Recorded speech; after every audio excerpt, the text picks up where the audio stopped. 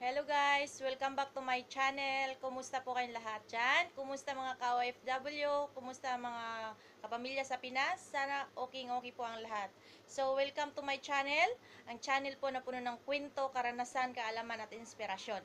So, keep watching guys. Magsishare po tayo today ng isa namang ah, remedies na siguro po common na sa atin pero parang hindi po natin alam kung ano po ang mga bisa ng mga ito na madalas nating ginagamit na kinakain or iniinom pero yun yun din po eh pwedeng pwede pwedeng pwede din po nating ipang uh, gamiting pampaganda po. So today guys, ang i-share ko po sa inyo ah isa na, isang ah, siguro po kumuna sa atin to. Ayan. Lipton. So magsi-share tayo ng ating mga experiment po sa Lipton. Mga discoveries po natin sa Lipton. So guys, kayo po ba ay mahilig uminom ng tsaa?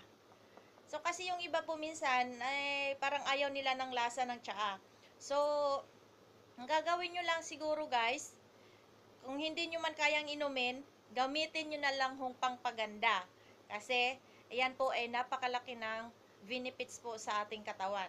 Bukod sa ang Lipton po, yung yung mga yung mga tsaa po, mga herbal po 'yan. So bukod po siya na, na iniinom natin na maganda ang effect sa ating ano, kalusugan po. Kasi magaling pong panunaw yung Lipton na tsaa po pang ano, pag yung kumakain po tayo na medyo heavy meals po, maganda po itong pangtunaw.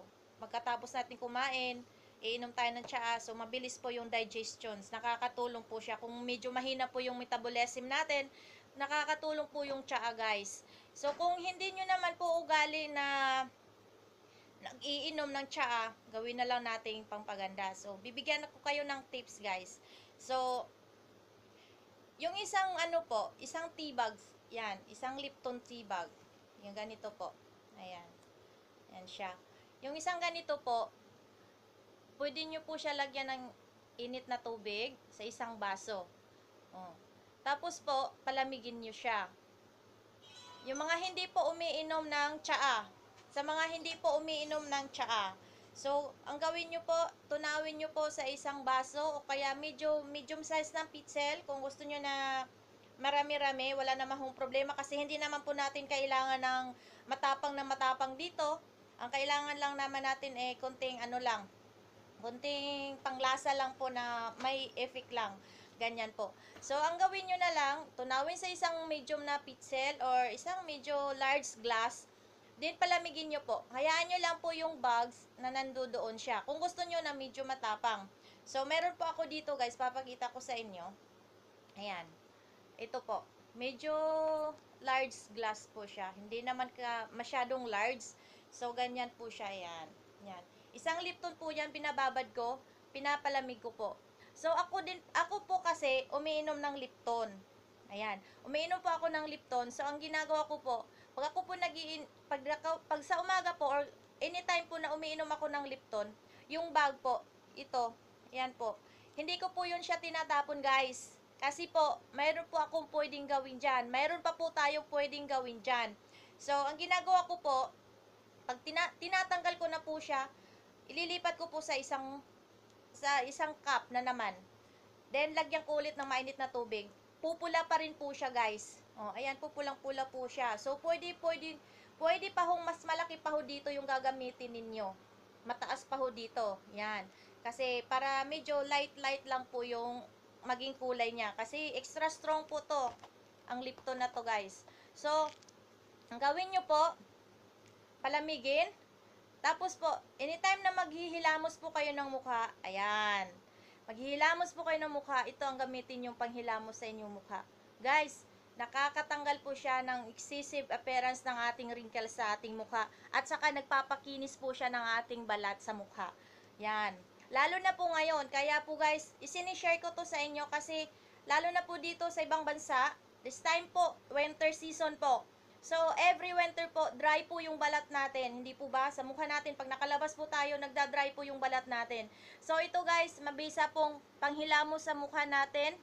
Sa umaga, pagising natin, pwede po, yung naliligo tayo sa umaga, ah, magano naman, magsasabon tayo, ganyan. Tapos, pwede po ito ang ipangbanlaw na natin. Yung pang last na po natin siya na parang idadampi sa mukha na parang ibababad po natin. Mas mainam nga po guys, yung medyo ma- maligamgam pa po siya. Ang igagawin natin panghihilamos, hindi yung lamig na lamig na po siya. Yung medyo maligamgam yun po ang pinakamabisa po na ihihilamos natin sa ating mukha guys. So kung kaya nyo naman, pero kung ah, hindi naman po, eh, palamigin nyo na lang perfectly, 100% po. Hindi po ilalagay sa fridge po guys ha. Basta hayaan nyo lang pong lumamig siya. So ayan, makakatipid naman po kayo guys. I'm sure, mga ka-OFW, tips ko po to sa inyo. Kasi napakarami pong Lipton sa bahay natin. Kaya ito, wala na po kayong kailangang isipin na magagastos kayo. Nasa bahay lang po natin, nasa kusina natin. I'm sure guys, pwedeng pwede nyo pong gawin. No? Yung mga kababayan naman po natin sa Pinas or anywhere na umiinom ng Lipton po guys. So ang gawin nyo na lang po, yung isang tasa po na pinagbabaran nyo ng Lipton, yung bag nyo wag nyo itatapon, ililipat nyo po sa isang cup. Pagka po nagpula na yung ano nyo, yung glass, yung ganito po, pula na siya, pwede nyo na ho tanggalin yung Lipton bag nyo. Ililipat nyo po sa isang lalagyan, then buhusan nyo po ng mainit na tubig ulit. Pupula din po siya, hayaan nyo na lang po. Pag time na maghilamos kayo, iyon din po ang gagamitin nyo. Nainom nyo na po, ayan, isang Lipton, tea bag, inom nyo na ho, napapanghilamos nyo pa po, nagpapaganda pa po sa inyo. At nagpapalinis pa po ng inyong katawan, ng inyong, ng ating intestine po. Sa loob po ng ating katawan, nag-aalis po yan siya ng mga kolesterol, nagtutunaw ng mga pagkain natin na mamamantika po. Yan, ito, ito siya. Mag, maganda, to, maganda po talaga siyang pang diet din guys. So, isang bag po, marami pong benefits na pwede po natin gawin. Huwag nyo pong itatapon, huwag nyo pong sasayangin. So, ang iba mga po, ang ginagawa po dito, kahit sa ano, kung may time po kayo, ah, ang ginagawa po ng iba guys, nilalaga po nila, tinatanggal po ito. So, meron din po, ano, mayroon din po kasing, ano, yung powder na, na Lipton. May powder na Lipton po guys. Pwede din yun po ang gawin nyo, ilalaga nyo po siya. Ilalaga nyo yung kunting ano niya, powder, kasi mas marami pong, ah, mas matapang po yun, mas mapula po kaysa dito sa bag. So, kung may time, pwede nyo pong gawin yon Isasalin nyo po, sasalain nyo lang po, din palamigin nyo po. Pwede nyo po ilagay sa isang large bowl din. Tapos, kung gusto nyo na yung mayat maya, naghihilamos po kayo, pwedeng pwede po nyong gawin yon Mas marami po, mas maganda kasi mayat maya po, pwede nyong ipanghilamos po. Maghihilamos po kayo kahit wala na pong sabon ang mukha nyo. Ihahampas nyo, idadampin nyo po, sorry. Idadampin nyo po sa mukha nyo. Kung mabil- madalas po kayong gumagamit, mas mabilis po yung effect niya. Guys, te- ta- tested and proven ko na po ito, ginagawa ko na rin po ito. Kaya ako po sinishare sa inyo. Alam po pong effective to. Tsaka napapagaling po siya ng mga pimples natin guys kasi may ano po siya, yung herbal niya guys. Pwede din po yung green tea guys. Kahit anong klase ng ano, ng tsaa po, pwede. May black tea, yung itong yellow tea, or kaya yung green tea, pwede, pwedeng pwede po yun guys, as long as na tsaa, na herbal po siya. Pwedeng pwede nyo pong gawin yun.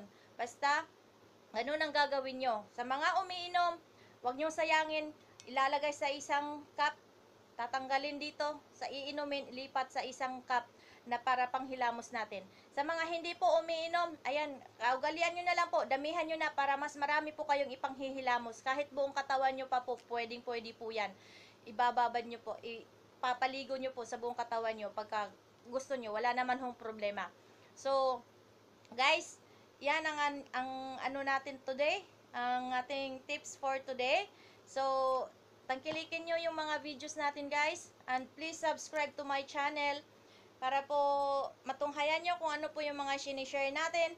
At please invite your friends guys to subscribe my channel. Marami pa po kayong matutunghayan. Marami pa po tayong may share sa inyo na mga magaganda pong kwento sa ating buhay, mga eksperimento at sa mga kaalaman po natin. So bilang OFW po, invite everyone OFW please subscribe my channel and watch my videos. Invite friends guys. So hanggang dito na lang po. Maraming salamat sa panonood and God bless everyone. Thank you.